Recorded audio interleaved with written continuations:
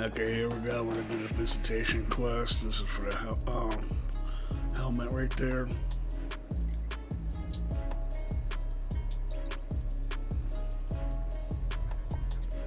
For everyone in her fire team you killed, for every guardian and ghost cut down in the great disaster.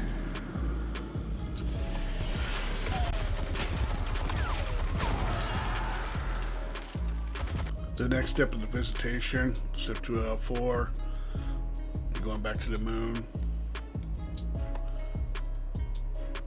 Go where Eris is at, and there's a little portal that'll be to her right side and all that as you're looking at her.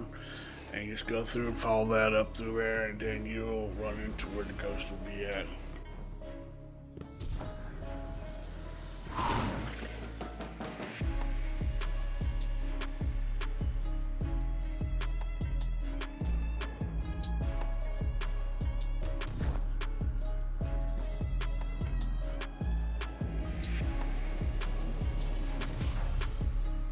Next part, the visitation quest. Basically, go right back to the Lost City and the Pale Heart to do the scan right there by Micah, and the quest should be complete then.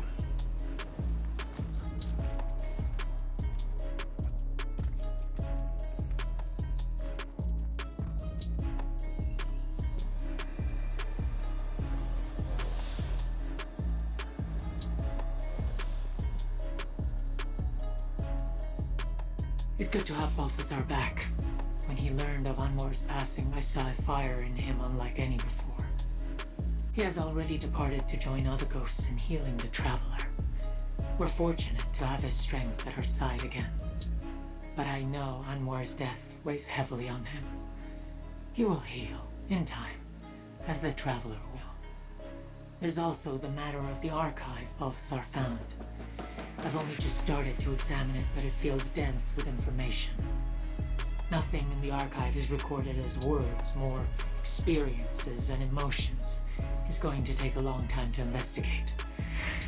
Excellent work, Guardian.